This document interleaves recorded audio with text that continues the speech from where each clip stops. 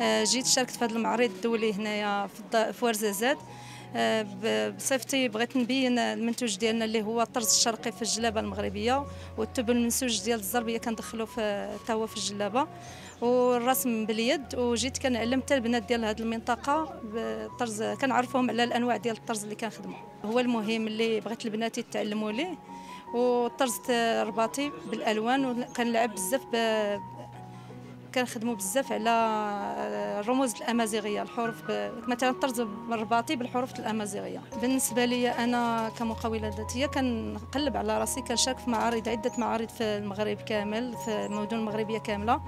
وكان جانا جاتنا فرصة ديال معرض في بوردو في فرنسا وفي ميلانو.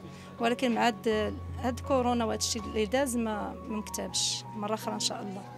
كاينين اكراهات بزاف اللي هما قلة المعارض ما كرناش ما كرهناش يكونوا معارض بالمجان ويكونوا ستوند بثمن مناسب. زعما ما ما هادشي الصناعه التقليديه زعما يشجعوا الصناعه التقليدي في الغالب الصناع التقليديين ما, كيقدوش ما عندهمش الجهد باش يخلصوا هاد الستون